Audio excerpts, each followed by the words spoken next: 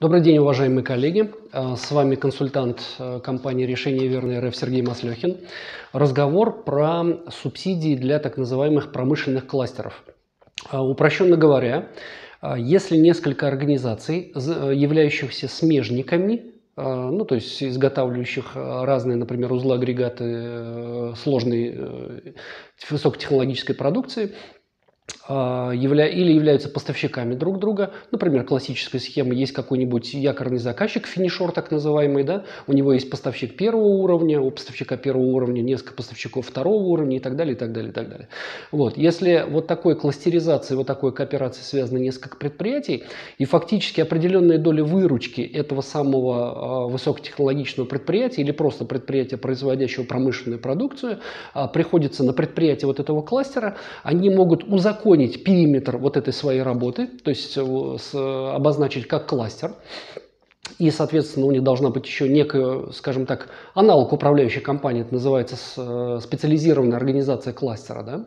Вот, а также проводится кластерная политика, включение в периметр кластера других участников, э, расширение производственной и всякой другой кооперации. Это немножечко похоже на, скажем так, ну, ТСЖ плохой, наверное, пример. Это немножечко похоже на промышленный парк, только в данном случае не происходит локализации в одной промышленной площадке. Да? То есть предприятия распределены и располагаются, где располагаются, да? в разных районах, иногда в разных регионах даже.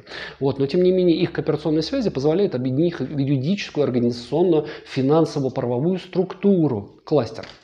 Так вот, если внутри этого кластера возникают так называемые совместные проекты, как два, когда два и более участников этого самого кластера объединяются для реализации какого-то проекта, каждый своей компетенцией, каждый своим ресурсом, и, например, приобретают какое-то совместное оборудование, оснастку а, по договору купли-продажи или в лизинг, а, приобретают какое-нибудь инженерное оборудование, заказывают на стороне а, инженерно-техническую документацию, конструкторскую документацию, технологическую документацию, да, приобретают, например, там оснастку, что они еще могут приобретать? А. Заказывают опытно-конструкторские работы или проводят их за свой счет хозяйственным способом. Да? То затраты вот этого самого э, совместного проекта кластера можно субсидировать у государства. Да? А если э, есть эта специализированная организация, кластер обозначен, узаконен и попал в реестр промышленных кластеров и специализированных организаций по постановлению правительства 779, вот, то есть если нужна услуга по э, обозначению этого кластера, аудиту, его э, узаканиванию, скажем так, да, аккредитации этого промышленного кластера в реестре, можете обращаться. Есть компетенции у нас такие. Вот. Соответственно, а, попав в орбиту вот этого самого а, промышленного кластера Минпромторга России, можно обозначить э, этот самый проект и подать заявку на возмещение затрат на, э, на полугодовой основе. Да? То есть а, самое главное, чтобы проект был начат не ранее, за год, не ранее чем за год до обращения в Минпромторг, а, и второе, проект должен длиться не более пяти лет в общей сложности, да, с начала его реализации. Максимальный размер субсидии на один кластерный проект 300 миллионов рублей. Выплата субсидий каждое полугодие. Естественно, есть целевые показатели по соотношению к одному рублю субсидий. Да? То есть, например, прирост объема продукции 5 к 1, а, коэффициент кооперации 2 к 1, объем небюджетных инвестиций 2 к 1 от суммы бюджетных субсидий. Внебюджет не менее 70% от общей стоимости проекта проекта, на какие статьи и сколько дают. Значит, если э, кластер, если несколько участников кластера взяли э, кредит, целевой или один из участников, да, в интересах совместного проекта, э, взял кредит по, на приобретение, например, там оборудования, до 70% затрат, затрат на уплату процентов Минпромторг может компенсировать. Если оборудование было приобретено, э, по договорам лизинга, то, может быть, можно возместить до 50% от стоимости оборудования, приобретаемого в лизинг. Приобретение техоснастки субсидируется на 100%. Проведение опытно-конструкторских работ, испытаний, прототипирование, экспериментальные образцы опытной партии субсидируется на 100%. Приобретение программно-аппаратных комплексов для управления предприятием, модулей э, разного софта ПАК, АПК э, субсидируется до 100% затрат. Оплата услуг или расходов на оплату труда по разработке КД, конструкторской документации, технологий, технологических процессов э, субсидируется до 50% затрат. Если у вас возникают вопросы по этой программе, и вы, в принципе, можете считать себя одним из участников кластера или уже являетесь таковым, под видео будет ссылочка, можно ознакомиться с дополнительной информацией, заказать консультацию, заказать услуги по э, подготовке заявок, по разработке бизнес бизнес-планов э, совместных проектов, по разработку иногда технической документации. То есть у нас есть э, специалисты, проектировщики, которые делают эти вещи профессионально по, по ГОСТам, по всем лекалам, да. То есть э, подача заявок, э, Организация самого кластера, юридические документы кластера, концепция развития, стратегия, программа, а, дорожная карта развития э, э, кластера, бизнес-планы совместных проектов. Удачи в реализации проектов, пользуйтесь государственными ресурсами. Вы, в принципе, должны понимать, что такие ресурсы есть. Естественно, мы можем ознакомить вас с правилами игры, потому что это не, не халява, то есть за нее есть совершенно четкие обязательства, но, по крайней мере, государственные ресурсы на эти цели выделяются.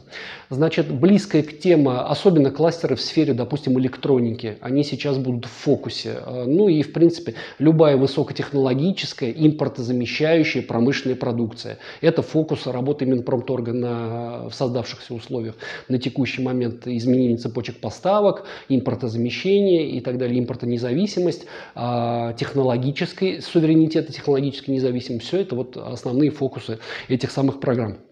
Близкие, близкие по скажем так, содержанию программы, это программы поддержки а, промышленных индустриальных парков – промышленных технопарков, в которых высокая степень науки, э, высокотехнологичных э, как бы, процессов инжиниринга да, и создания продукции. Технопарк очень похож на кластер, только объединенный, например, в рамках одной площадки. То есть там тоже есть лаборатории, там есть центры прототипирования, испытаний, сертификации, э, там есть, не знаю, допустим, ЦОДы, центр обработки данных, чистые комнаты, э, там есть э, какие-нибудь проектное бюро, проектно-конструкторское бюро, КБ так называемый, да, в советское время.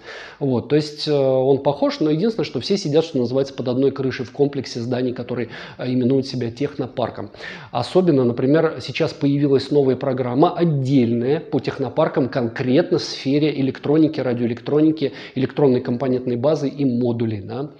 У нее отдельный бюджет, э, не в рамках общей программы по э, промышленным технопаркам или индустриальным паркам. Надо пользоваться.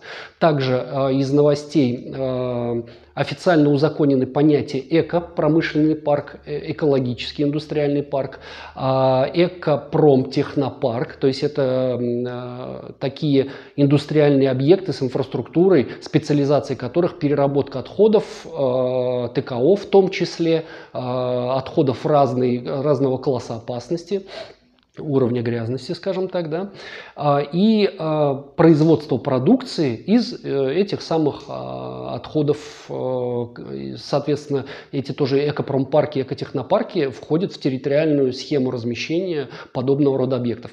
Также чуть раньше официально было узаконено понятие агропромышленный парк, агропромышленный технопарк, агробиотехнопарки. Это тоже родственные структуры, когда вот эта вся кластерная организация концентрируется на смежных смежных земельных участках, на одном земельном участке, в одних помещениях и так далее. И так далее.